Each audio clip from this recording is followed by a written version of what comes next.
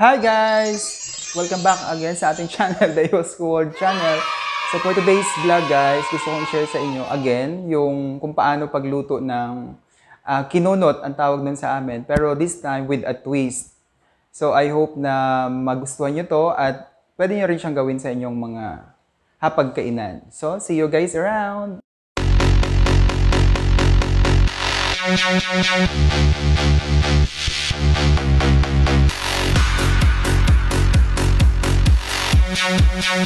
Ingredients para sa ating gagawing uh, ulam na kinonot.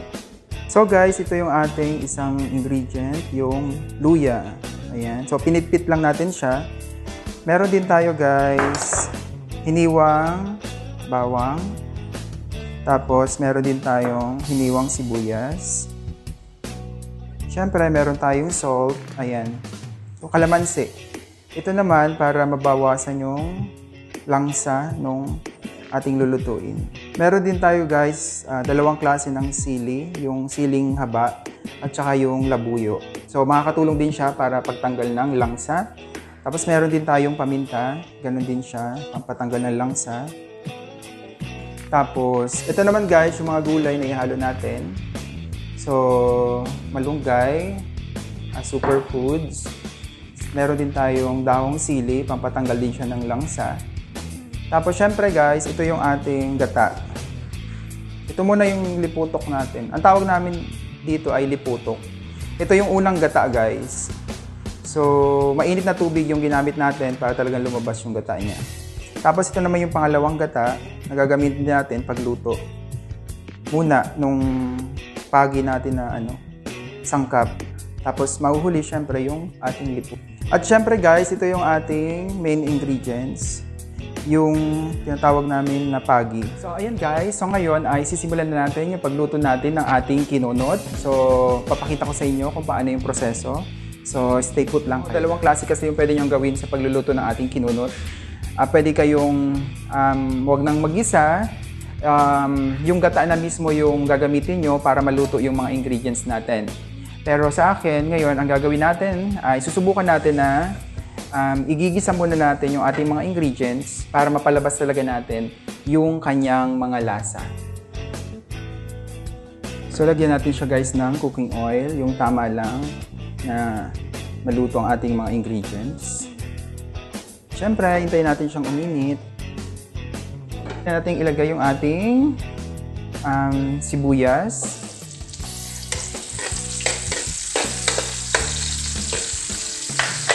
Tapos, isunod natin ng ating bawang. So, sa bawang natin, guys, ay gumamit ako ng...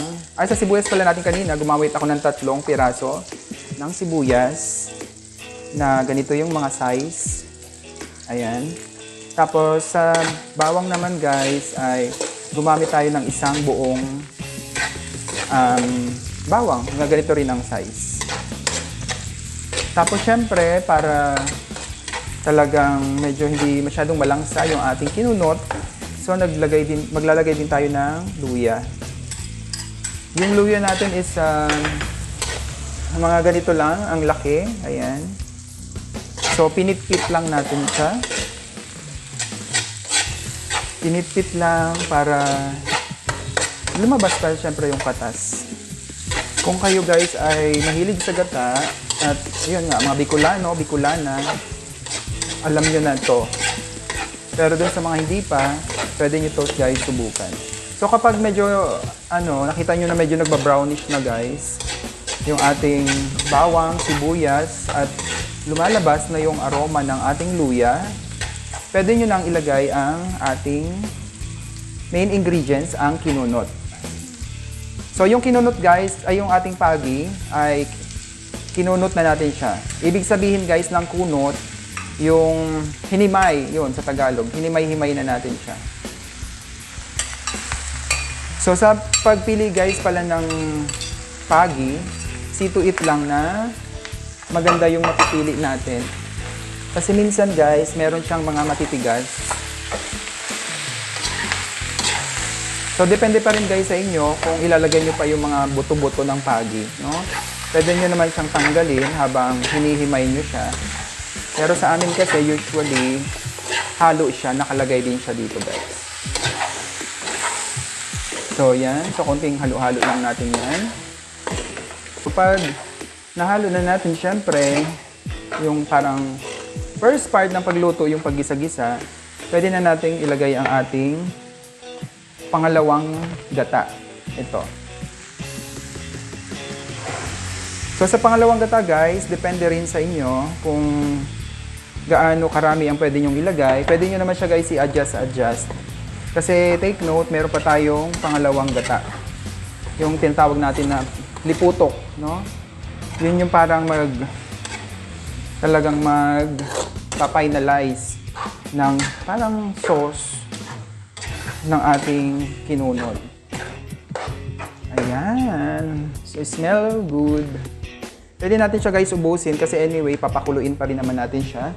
At syempre, sa Tagalog tawag namin dyan, papahubasin pa natin siya. So ito guys, actually, di ba nakita nyo naman na nilaga na natin yung pagi. So ibig sabihin luto na siya. Pero syempre, kinakailangan pa rin natin siyang lutuin sa pangalawang gata. Para talaga yung lasa niya is um, pumasok sa ating pagi, sa ating kinunot. So pagkalagay natin guys ng pangalawang gata, pwede na rin nating ilagay ang iba pang mga sangkap na pangpabawas ng langsa. So pwede rin natin siyang lagyan ng paminta, pwede durog or buo, depende na sa inyo. Ako kasi gusto ko yung durog na para talagang pasok na pasok ang lasa niya. Masarap guys ang kinunot kapag hindi siya masyadong malangsa. Tapos syempre, para magkaroon ng lasa, pwede nyo nang ilagay ang ating asin. Sa asin naman guys, so make sure lang na tantiyado ninyo ang paglalagay ng asin kasi pangit naman kung mapaalat. Pero ako kasi guys, mataas yung aking panlasa. Kaya ako yung nag adjust Hindi ko siya masyadong nilalagyan ng asin.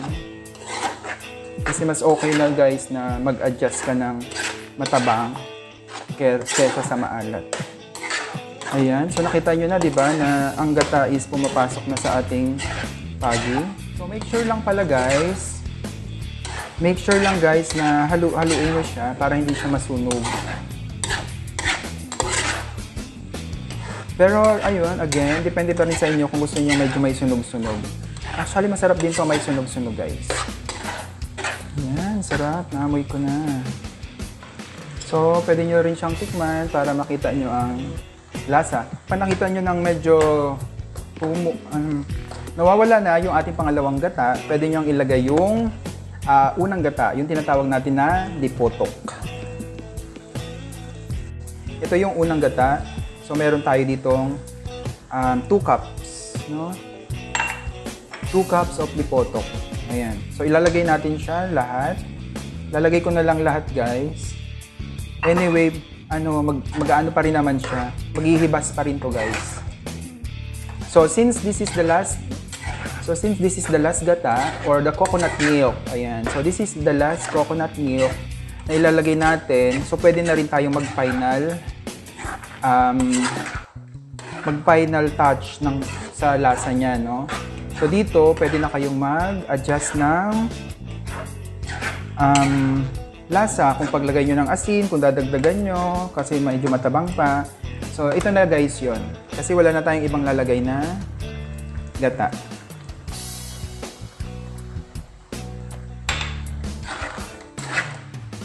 Nako guys, kapag naligaw kayo sa amin, sa Bicol, pwede ko rin kayong lutuan ng ganito. Kasi dito guys sa Manila, medyo mahirap siyang hanapin yung pagi. Medyo mahirap to guys hanapin dito sa Manila. Tsempohan lang siya sa palengke. Tapos medyo pricey pa ang kilo niya. Tapos siya nga pala guys, sa uh, kinonot, depende rin sa inyo kung gusto niyo na medyo masabaw-sabaw siya. Pwedeng after 10 to 15 minutes, pwede niyo nang patayin yung apoy. Kung gusto niyo may sabaw-sabaw. Pero kung gusto niyo ng medyo tuyo siya, so syempre medyo i-prolong nyo yung pagluluto no? hanggang sa mahibas-hibasan siya. Pero ma ako, mas prepared ko nito medyo may sabaw-sabaw. Kasi para syempre, may mas mapapalasa mo talaga sa kanin.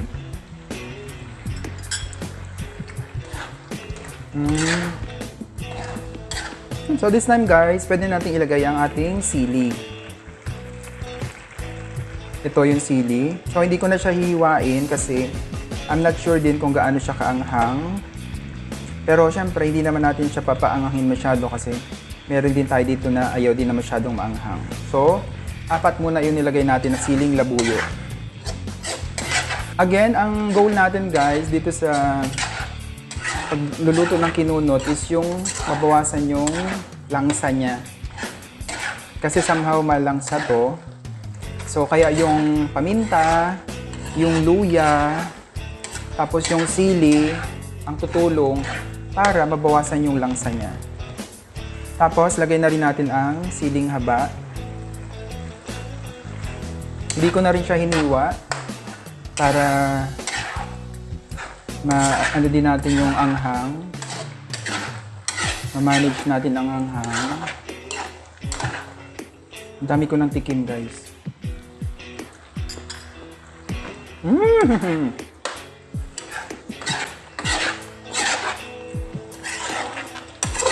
Nakukuha ko na ang Bicol na lasa. This ilalagay na natin ang ating malunggay. Sa malunggay naman guys, depende na rin sa inyo kung gaano kadami ang gusto nyong ilagay. Pero siyempre, the more, the merrier. Since ito naman ay superfoods. Actually guys, pwede pa siyang maglangis-langis yung ating kinunod.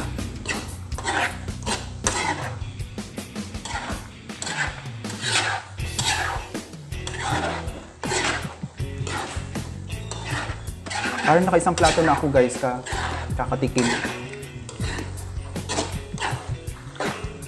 So, ayan na guys. Ilalagay na natin ang ating siling labuyo. Again, yung siling labuyo, ganun din. Makakatulong din siya para mabawasan syempre yung langsa. Pero yung siling labuyo guys, hindi na natin siya masyadong lulutuin. Eh, di ba manipis lang yung dahon, kaya maluluto na lang siya. Ayan, so, final touch natin guys ay ang ating kalamansi. So sa kalamansi guys, depende rin sa inyo ha, kung gaanong asim yung gusto nyo. Pwede, nyo, pwede rin kayo mag-adjust-adjust dito. Kasi ang goal natin guys ay ma-enjoy ng kakain yung ating luto na hindi sila, alam niyo yun guys, malalangsahan. Kasi minsan yun ang nakaka sira ng lasa. So, kaunting halo guys. And presto, luto na ang ating kinunot. So, we are done guys. Thank you so much for watching. Bye-bye. Enjoy eating. Stay safe. God bless and see you around. Thank you.